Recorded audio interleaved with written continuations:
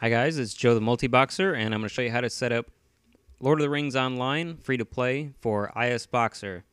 If Inner Space does not detect Lord of the Rings Online, select Add Game from the Inner Space menu. Name it whatever you like. I'm going to name mine Lotro. Game executable, find it and point it at turbinelauncher.exe, not Turbine Invoker, Turbine Launcher. For parameters, type dash use TDM. No spaces or anything. Click OK. Now it is correctly in here.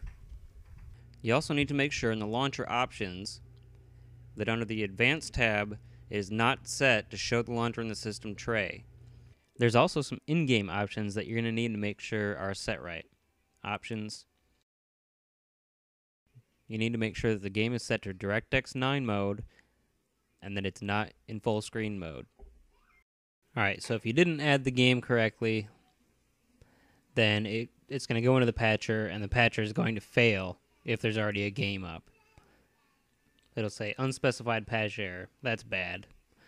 If you got it right, it doesn't patch at all. It just goes straight into your username and password.